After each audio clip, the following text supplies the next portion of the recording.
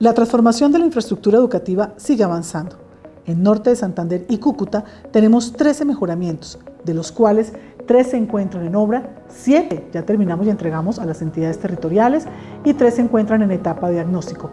Con esta inversión estamos beneficiando a 1.392 estudiantes, con una inversión total de 3.605 millones. Estas 7 terminaciones, ¿dónde la hemos realizado?